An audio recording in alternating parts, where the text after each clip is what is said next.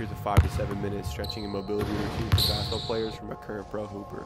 First up, we have thread the needle pigeon stretch. This targets the outside hip and lower back.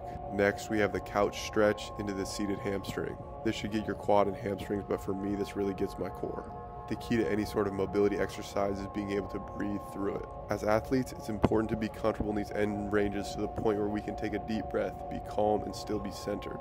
Because think, in a game, you will push your body to the edge. But are you calm in those moments so that you can perform at your highest level?